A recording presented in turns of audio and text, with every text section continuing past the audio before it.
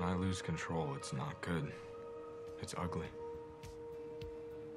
You have to let go of the shit you can't control.